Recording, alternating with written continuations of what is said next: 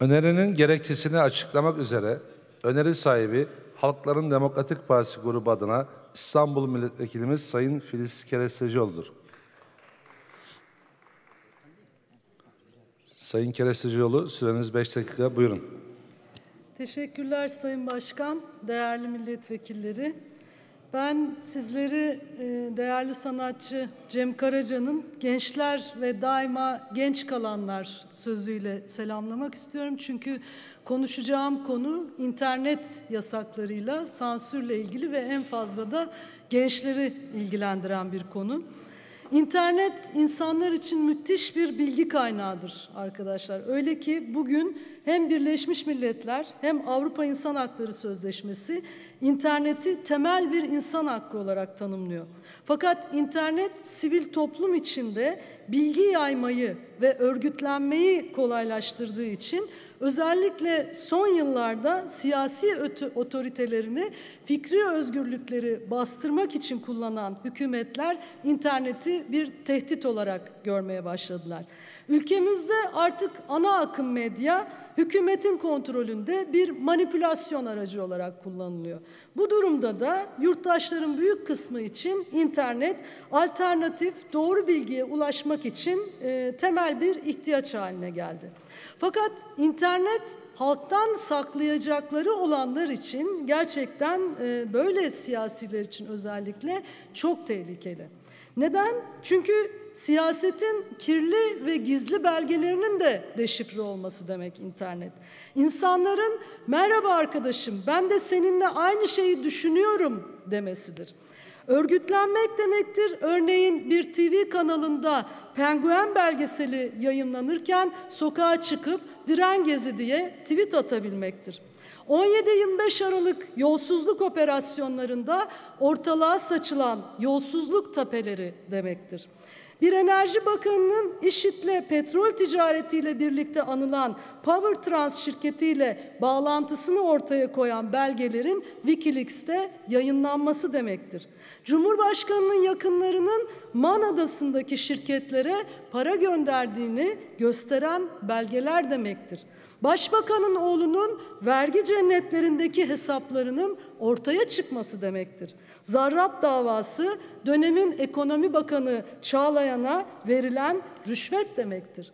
Ve TV kanalları kapatıldığı için tüm bunları inatla internet üzerinden yaptığı yayınlarla ortaya koyan araştırmacı gazeteciler demektir. Fakat yalnızca muhaliflerin değil, herkesin bilgiye erişim özgürlüğü demektir internet.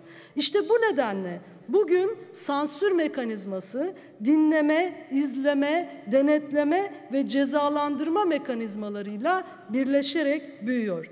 15 Temmuz'un ardından sadece 6 ay içerisinde sosyal medya paylaşımları nedeniyle 3681 kişi gözaltına alınırken 1734'ü tutuklandı. Cumhuriyet savcılıklarında hala hazırda gözaltı talimatı için bekleyen on binlerce dosya bulunuyor. Yalnızca son dönemde Afrin'e yönelik askeri müdahaleye karşı sosyal medyadan barış diyen 449 kişi gözaltına alındı.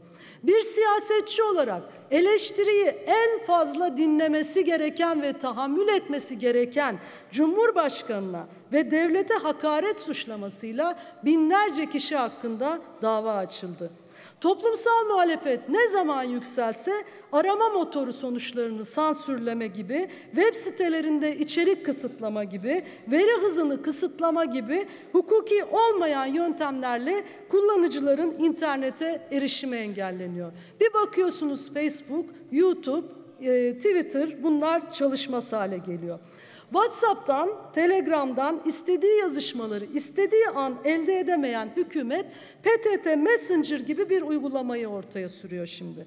Amaç her bir yurttaş kiminle ne konuşuyor her şeyi kayıt altına almak. Şimdi bir chat programını, bir sohbet programının yazılımını bir ekibe yazdırmak 3 ay sürer arkadaşlar. Bunu bile yerli ve milli diye sunmaya kalkıyorsunuz. Son olarak meclise sunulan kanun teklifi RÜTÜ'yü 21. yüzyılın gördüğü en yetkili denetim aygıtı haline getiriyor. RÜTÜK ne yapmış? İşte son dönemde 7 yaşındaki kız çocukların şortlu dans gösterisi için ceza vermiş. Yedi kocalı Hürmüz şarkısında geçen Allah baba ifadesi nedeniyle tevhide aykırıdır, küfür ve şirktir gibi fetvayı andıran bir açıklamayla 1 milyon ceza kesmiş. Yani İran'daki gibi YouTube, Twitter, Facebook gibi sitelerin bile yasak olduğu bir internet ve bir Türkiye hayal ediliyor. Türkiye Sözlerinizi tamamlamak üzere bir dakika ek süre veriyorum. Buyurun.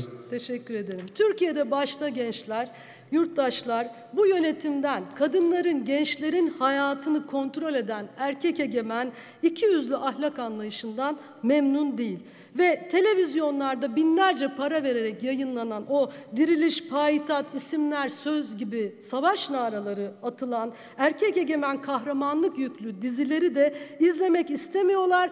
Netflix gibi, Blue TV gibi onlar için farklı platformlarda dünyaya erişim mümkün ve buna devam etmek istiyorlar. Ama siz diyorsunuz ki neredeyse insanların birbiriyle konuşması için bile VPN yüklenecek, öyle konuşabileceğiz biz.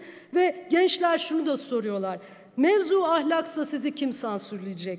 Ermeni dölü, Ermeni tohumu, kahpe gibi nefret söylemini, cinsiyetçi sözleri kim sansürleyecek? Instagram'dan canlı yayın yapanları da mı sansürleyeceksiniz? Yerli ve milli internet tarayıcısı mı çıkaracaksınız?